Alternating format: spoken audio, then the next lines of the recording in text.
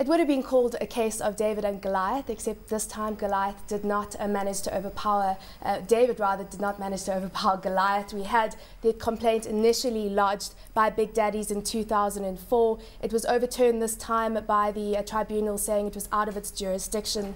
Uh, Michael, you were at the tribunal hearings. Can you give us some insight into what went down? I think it was, a, it was a slightly surprising outcome yesterday. The, um, the expectation wasn't so much that the tribunal would uh, agree completely with the argument SAB had made, but rather with parts of it and give part of the, part of the win to the Commission. Instead, it went completely with SAB um, in a decision that clearly seemed to pain the tribunal. You know, somebody told me the, um, the members of the tribunal had been up most of the night thinking about the judgment and working out how, what, what they should do. So yes, it was a, a decision that took uh, most people by surprise.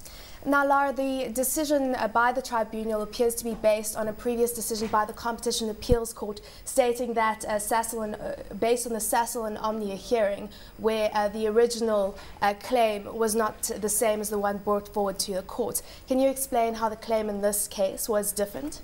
Right, and um, this, this decision follows on from a, a, number of recent Superior Court decisions which um, look at the nature of the complaint and what was ultimately referred to the Competition Tribunal. In this case, um, the original complainant had said SAB is selling its beer to wholesalers such as me at the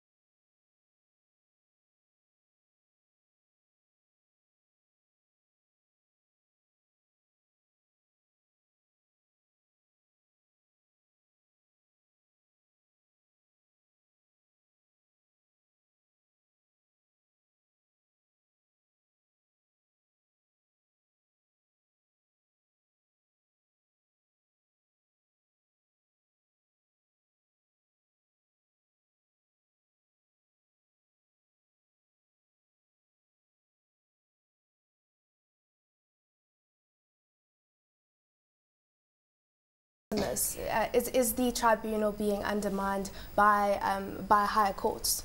Well, I, I think it's not one or the other. I think that one can create a system that is both accessible and expedient, um, but that also protects the rights of respondents. And I'm not sure that we've met that balance yet. What is, what is the balance? How do you achieve that balance? Well, I think that the tribunal has the rights, for instance, to play an inquisitorial role, to set its own procedures, etc. Um, but it must take it, it needs to take a very activist role in determining what those procedures are and where the balance should, should sit.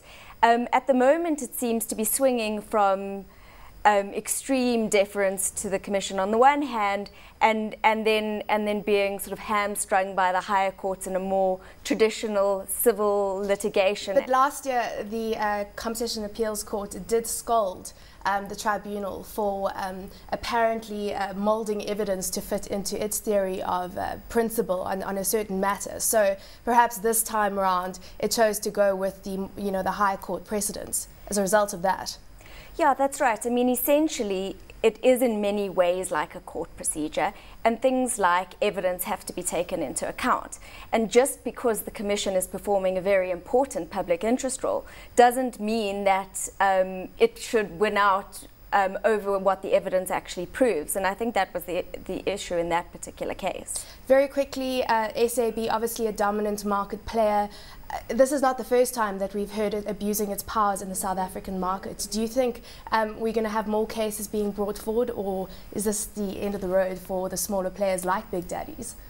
Oh, it's certainly not the end of the road. I mean, it's, uh, and, and by that, I don't think it means that their business model is under threat. You know, SAB has consistently responded throughout this thing that, look, it's up to us to structure our business in the way that suits us the best. Um, now, the question of whether that structure is actually disadvantageous to other players in the market hasn't been tested. And because of yesterday's ruling, it looks like it's not going to be tested.